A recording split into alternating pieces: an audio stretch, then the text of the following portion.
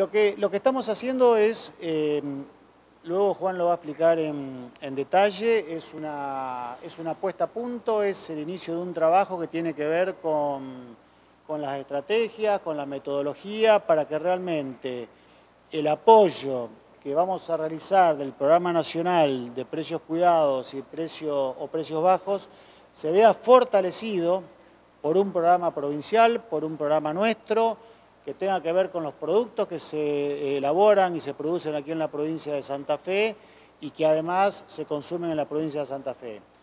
Un programa delegado y descentralizado donde vamos a involucrar a los municipios, donde vamos, a involucrar o a comprometer a, todas aquellas instituciones que tengan que ver con estas, con estos, con estas empresas.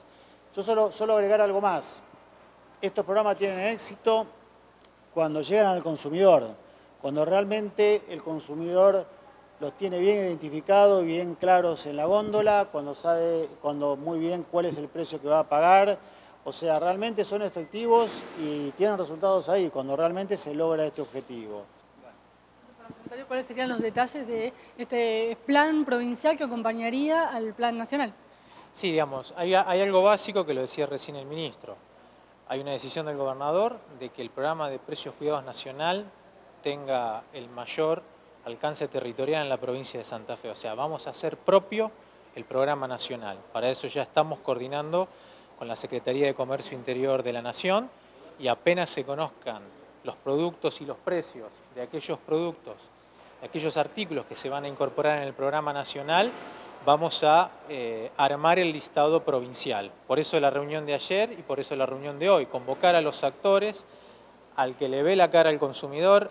Esto va a ser un programa que va a crear la provincia de Santa Fe por decreto del gobernador, lo vamos a dejar normativizado, va a haber un convenio con todas las cámaras y convenios particulares con los supermercados. Eso es lo que le estamos proponiendo.